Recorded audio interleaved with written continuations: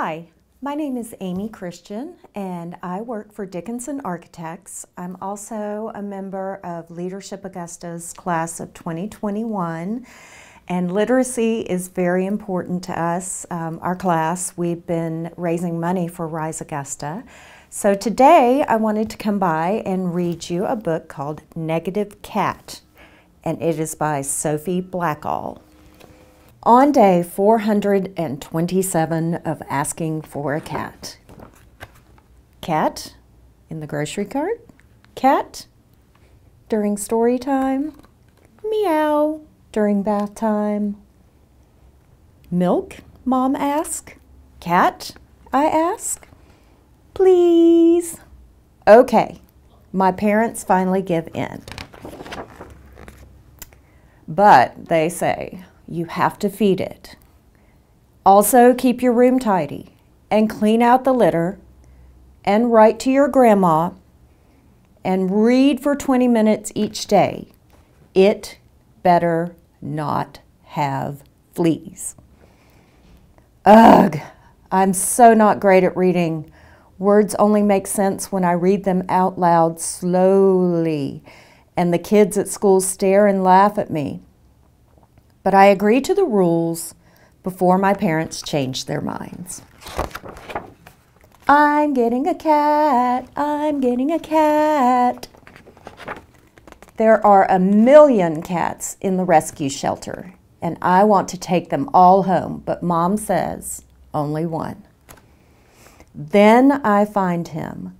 The name on the cage is Pookie, but that is no name for this cat. This cat is Maximilian Augustus Xavier, and we will call him Max.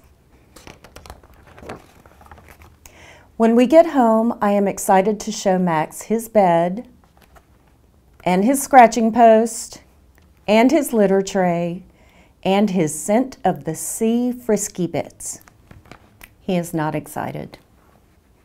The next day, I surprise Max with a toy mouse. He is not surprised. I tickle him with a feather. He is not ticklish. I tell him all my best jokes. He doesn't even smile. At school, my friends go on and on about how excellent their cats are. Camilla can wear her cat like a scarf. Jack's cat can fetch a stick. Emilio's cat has its own Instagram. My cat stares at the wall. He's kind of negative, your cat, Mom says. On the weekend, Dad lets Max have the best parts of the paper. Uncle Dave knits him a sweater. Mom lets him borrow her shoes. In return, Max leaves hairballs on the rug, his tail in the butter, poop in the vestibule, he eats the flowers and deletes my email to Grandma. Everyone is mad at Max. He doesn't even purr. I'm calling the shelter. We should have gotten a dog. And then they're mad at me. Your room is a mess. He hasn't been reading. Have you even written to Grandma? But I say, I still love you, Max. When the lady from the shelter comes, Max and I hide in my room. The grown ups talk on and on blah, blah, blah, commitment, blah, blah, blah, responsibility, blah, blah, blah, negative. I have an idea. It's our only hope. I tidy my room in record time. I reach for a book. I take a deep breath. I begin to read slowly, out loud, the only way I know how. Max stares, but he doesn't laugh. I turn the page. Max inches closer and closer and closer. He tucks his head under my arm.